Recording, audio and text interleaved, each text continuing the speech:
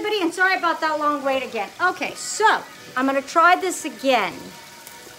So please bear with me.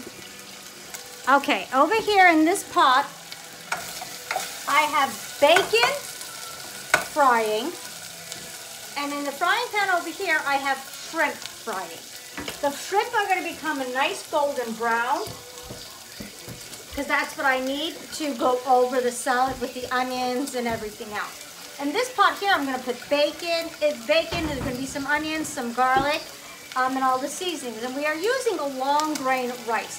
A lot of people like it because it's more healthier.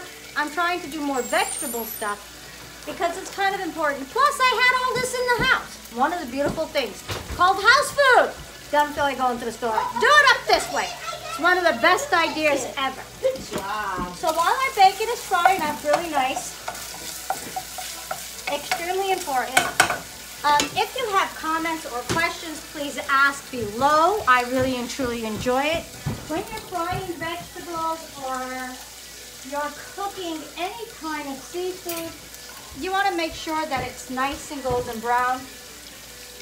You can use cornmeal you could use flour. I like preferring mixing mine with cornmeal and flour. Italian seasonings, lemon salt and pepper, garlic powder. This is all in lemon pepper. If you buy it at the store, it's usually 99 cents. Yes, this is not my kitchen. This is my friend's house. And we are cooking today. We're having a girls' cooking day. So who we poison, we have no idea yet. Hey now. So, what it is is with the lemon pepper, there's a lot of salt in it, so you don't want to add a lot of salt to anything. Bacon will add a lot of salt if you use, I'm using low sodium thick bacon. Honestly, I prefer thick sliced bacon, basically like a slab back bacon, um, which is pork belly for a lot of people. I prefer using that in my because it comes out crunchier and, and um, crispier when you're cooking. To me, that's the best kind of bacon. So we're going to take some onion that I have here and we're going to put it in with the bacon. You want the onion and the bacon to fry up together. Extremely important.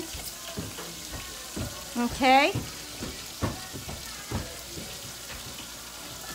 Because you want the onion and the bacon to have the same flavor.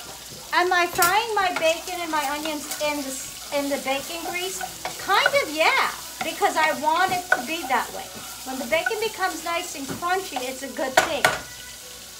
Plus the bacon um, will give the onion and the, the rice the flavor I want, really and truly.